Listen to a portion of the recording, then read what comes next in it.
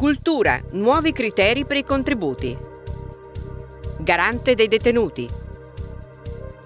IRES, approvato il programma di attività. In apertura della seduta del 21 giugno il Consiglio regionale ha ricordato con un minuto di silenzio le vittime della strage di Orlando e ha commemorato Gianluca Buonanno, europarlamentare, consigliere regionale della decima legislatura, recentemente scomparso. Il garante delle persone sottoposte a misure restrittive della libertà personale ha svolto la relazione della sua attività nel 2016. Nel pomeriggio l'Assemblea ha approvato una legge che disciplina le erogazioni di contributi a enti e associazioni culturali, il nuovo statuto della Fondazione ISI, Istituto per l'Interscambio Scientifico, e il programma di attività 2016 dell'IRES, Istituto di Ricerche Sociali del Piemonte.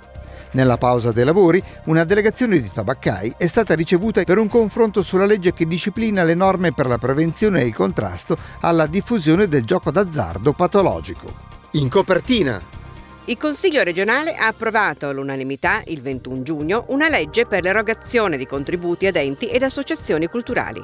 Il testo prescrive i requisiti per l'iscrizione a una tabella istituita dalla Giunta. Tra questi, aver svolto servizi e attività di rilevante valore scientifico e culturale da almeno tre anni, disporre di una sede adeguata, possedere, conservare e valorizzare patrimoni bibliotecari, archivistici e documentali e garantire una larga utenza delle proprie iniziative, l'accessibilità pubblica al patrimonio posseduto e ai servizi culturali offerti.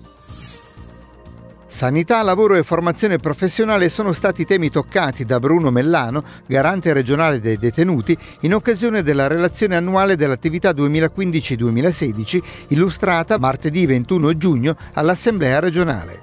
Tre sono le competenze specifiche che richiedono l'impegno della Regione, la sanità, il lavoro e la formazione professionale. Tra le maggiori problematiche emerse, quella del sovraffollamento di alcune case di reclusione, in particolare spicca la realtà di Asti in un momento che si è discusso molto di stati generali dell'esecuzione della pena, in un momento in cui c'è un'attenzione reale, concreta rispetto alla sicurezza, ciascuno deve fare la propria parte. Come garante dei detenuti ho mi sono permesso di fare un appello all'istituzione regionale piemontese affinché riprenda quel ruolo importante e significativo che negli ultimi decenni ha svolto, non solo con finanziamenti e contributi ma anche con le linee guida, con l'indirizzo, con le scelte politiche di fondo l'amministrazione penitenziaria, i territori, i comuni sedi di carcere, gli operatori lo attendono e credo che sarebbe un atto doveroso. Il Consiglio regionale ha approvato il programma annuale 2016 dell'Istituto di Ricerche Sociali del Piemonte. Il documento, predisposto dal Consiglio di amministrazione, previo parere del Comitato Scientifico, è il frutto anche del confronto con le direzioni regionali e prevede un finanziamento di 4,4 milioni di euro.